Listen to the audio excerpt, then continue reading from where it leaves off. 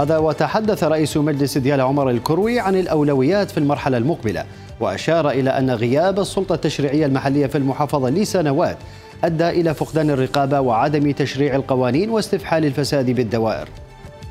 هناك الكثير من الملفات آه، وذلك لغياب الحكومة المحلية لعدة سنوات آه، عن المحافظة آه، غاب الرقابة وغاب تشريع القوانين داخل المحافظة. بالتالي هناك الفساد استفحل في كثير من مؤسسات الدولة وأيضا في الإدارات المحلية داخل المحافظة ديالة سيكون عمل مجلس المحافظة إكمال كابينة اللجان الموجودة فيما تخص أعضاء مجلس المحافظة.